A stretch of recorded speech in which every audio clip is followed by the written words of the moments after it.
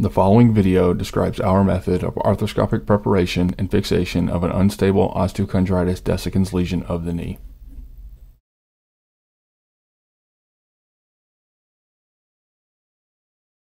This case represents a 16-year-old multisport athlete with atraumatic right-sided lateral knee pain.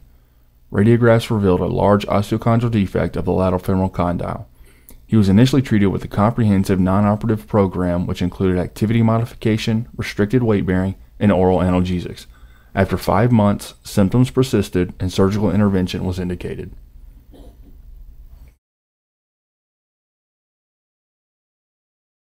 The five-step surgical plan is listed here.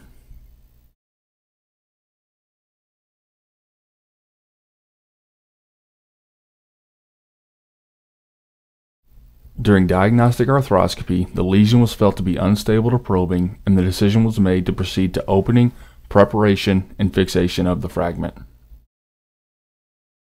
A scalpel was used to open the fragment anteriorly along the pre-existing fissure while leaving the posterior attachments intact.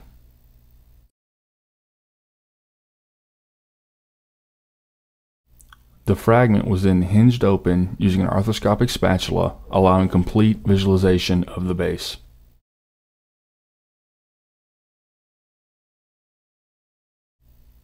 All fibrous non-union tissue was meticulously removed from the base using curettes and an arthroscopic shaver.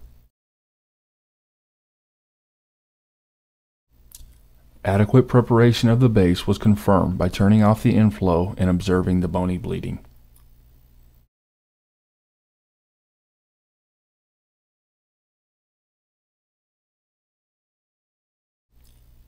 The fragment was then anatomically reduced with an arthroscopic probe.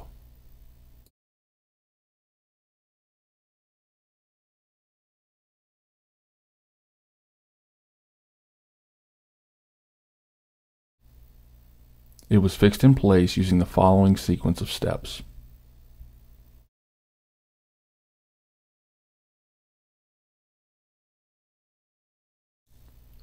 The fragment was initially stabilized with multiple K-wires. Each point of fixation was then drilled,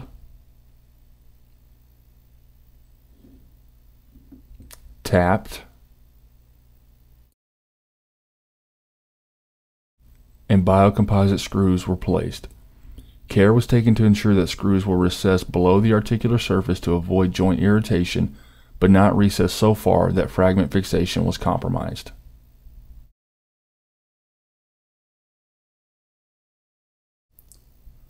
A total of four screws were used and the same sequence of steps was repeated for all points of fixation.